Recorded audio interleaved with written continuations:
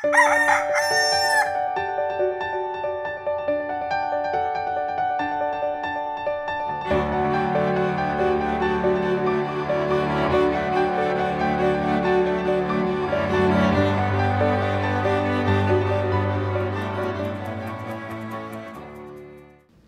buntag mga kapamilya. Father Arnold po mula sa Jesuit Mission District sa Bukidnon. Saluhan niyo po muna ako tayo magkapet, pandasal. Ilang linggo na rin pong nagsimula ang klase.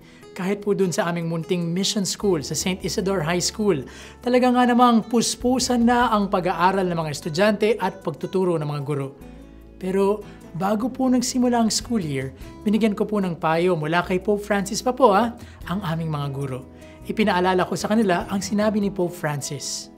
Ang sabi po niya, Indeed, the duty of a good teacher, all the more for a Christian teacher, is to love his or her more difficult, weaker, more disadvantaged students with greater intensity.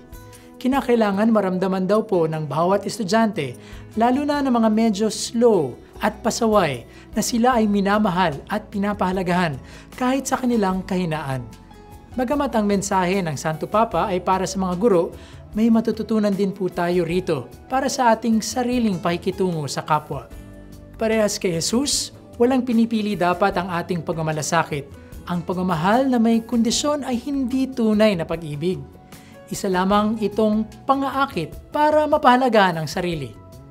Naway sa ating pamumuhay mga kapamilya, matuto tayo sa ating dakilang guro kung paano nga ba ang magmahal ng tapat sa lahat nang walang hinahanap na kapalit.